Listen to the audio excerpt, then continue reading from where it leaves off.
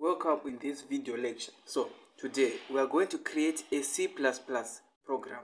So head over to your compiler. By the way, in this video we'll be using dev C++ as our compiler. So to start a new file or a new project, you either highlight to file, then click new, then over new, click this part which says source file, or you can click Control N so what are we going to write today in this video? We're just going to write a program that produces an output on our screen or on the terminal. So first of all, you have to include this this piece of line. Include iostream.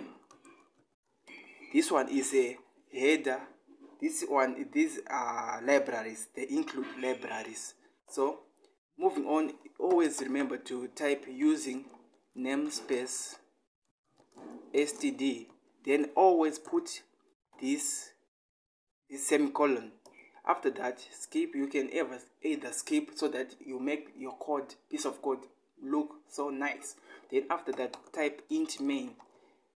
Int main this is the our our main function of this program.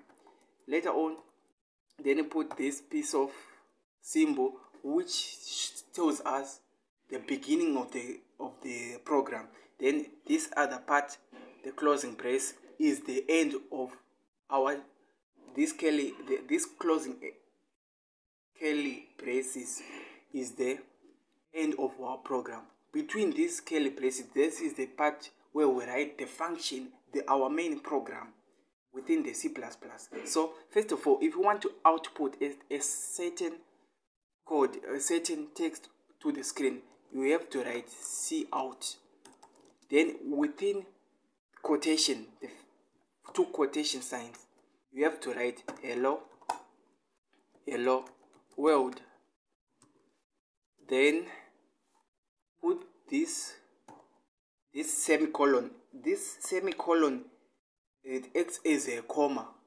Uh, no, it acts as a full stop to uh, to our program.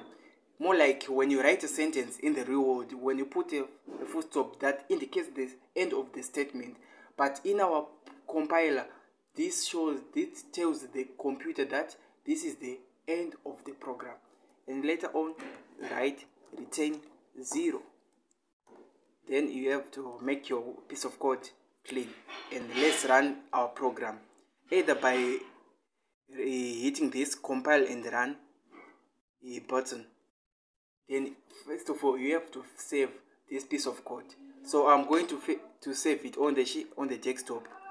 Then write she hello hello hello hello program. Then click save. After that after saving it will auto automatically run a program in front of us. So wait for the few seconds. There it is hello just my error that I pre be written W then click next. So if you want to write another second line another second statement within the C++ program always include this this in this left slash then write type in name n then you write the second piece of code Hello world, welcome to programming in C++, CPP.